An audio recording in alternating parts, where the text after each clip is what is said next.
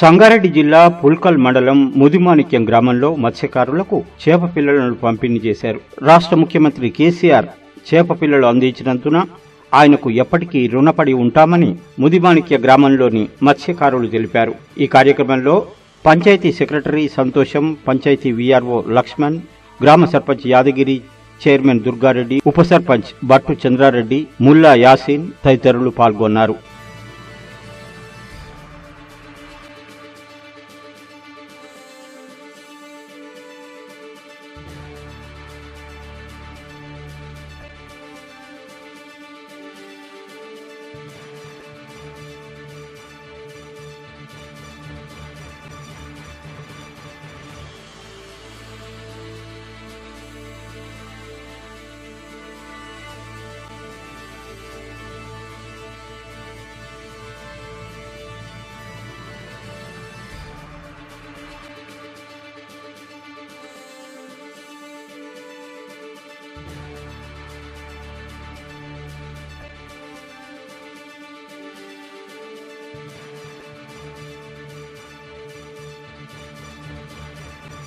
జిల్లా తెలంగాణ గవర్నమెంట్ ఉచితంగా ఇస్తున్న యాభై ఆరు వేల చేప పిల్లలను నిర్మూలించే గ్రామంలో పెద్ద చెరువులో ఇవ్వడం జరిగింది.